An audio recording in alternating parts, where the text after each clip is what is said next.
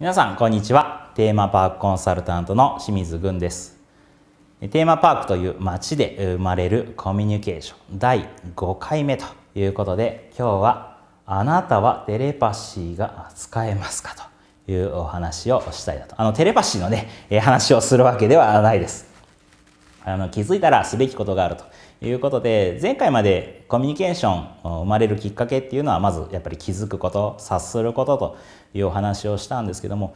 気づくだけではやっぱりコミュニケーションって生まれないんですよね。なので気づいたらどうすればいいかというお話をしていきます。はい、ねえー、皆さんもこういうシチュエーション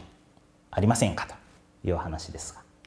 ね。例えば男性の皆さん、えー、奥さんとか、えー、彼女さんからね何か気づかないと聞かれて「ああ髪切ったと思ってたよ」と。ねこういう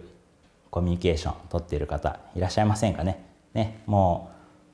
う全然あのコミュニケーションとしてまあ一応言葉は返してますけれども全然なってないですね。髪切ったと思ってたということはまあ気づいてたんですけどでも「あ髪切った?」とか「新しい髪型いいね」とかそういうふうに声はかけてなかったということですよね。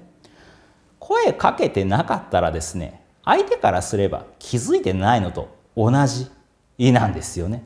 なのでもう気づいたあなたは気づいてるかもしれないですけどそれはま単なる自己満足と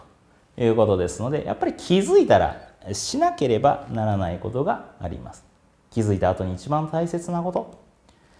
やっぱり行動することなんですよね。今のケースだったらもう本当に先ほども申し上げましたけどあ髪切ったとかあ新しい髪型いいねとかそういうふうに行動する声をかけると。これをしないとコミュニケーションにはならないですから。あの当たり前かもしれないんですが特にね日本人はここが抜けやすくなりますので是非行動するというのを試してみていただきたいんですがえー、質問とか気づくこととかねえー、と同じでじゃあ行動してくださいね気づいたら声をかけてくださいねとかと言ってもまたこれがねなかなかやっぱり難しいので難しいことは準備しましょうトレーニングしましょうということで例えばですけれどもまずはものを褒めてみるというのをぜひやってみていただきたいなと思います。さあここにあの色鉛筆の写真ありますけれども皆さん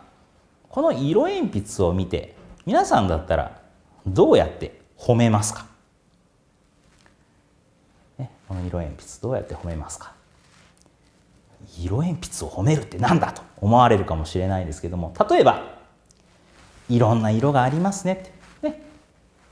赤もあれば青とか緑黄色とか、まあ、いろんな色があります。ね一色より絶対いいですよね。いろんな色あった方が絶対いいですよね。あとは綺麗に削られていますね。ね。ご覧の通り非常に綺麗に削られた鉛筆です。ね。やっぱり綺麗に削られた方が塗りやすいですからね。他にもまあ長さが揃っていますね。とか。やっぱり揃ってる方が見栄えいいですからね。まあこうやって褒めることができます。まあ他にもすごくマニアックなことを言うとこれあの断面が六角形のね鉛筆なんでちょっとこう机の上で転がってもどっかで止まってくれます。これがね断面が円丸い色鉛筆だとコロコロコロって転がって机から落ちちゃったりしますからね。転がりにくいですねとか。まあそういうマニアックなポイントも言えたりします。こうやって物でもやっぱり何か特徴があります。これをよく見ることでまずその特徴に気づくことができるんですよね。あいろんな色があるとか。きれいに削られているとかあとはそれを言葉にするまあ、この言葉にする練習がこのまずはものを褒めてみるというものです。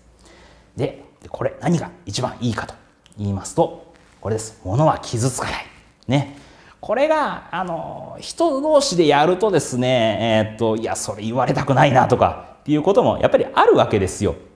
ね、気にしてる人がね相手が気にしてることとかっていうのもあります。でもあのものだったら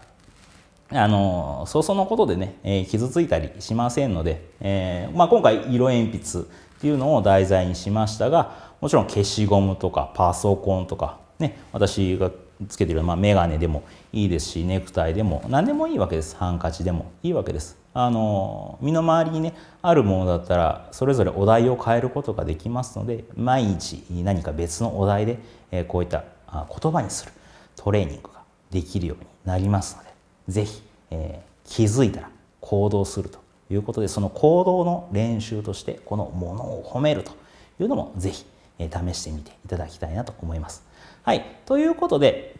第5回目はですねやはり気づいたら行動しようということで、えその行動の練習どういうトレーニングをすればいいかというお話をさせていただきました。はい、ということで第5回目は以上です。第6回目もぜひ楽しみにご覧ください。